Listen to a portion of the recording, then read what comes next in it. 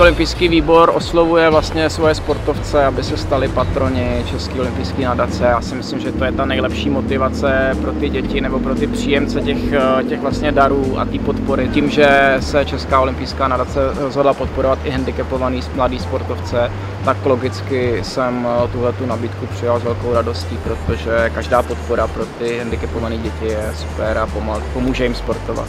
Ten proces proběhl tak, že jsem napsala žádost, že jsem napsala podle předlohy, napsala jsem příběh Matějův, jak rád sportuje. No a potom se mi nadace ozvala a napsali, že jsme byli vybráni. Matějovi se splnil sen, že dostal kolo, o kterém hrozně snil. No a ještě to, že mu ho předával známý sportovec, kterého zná.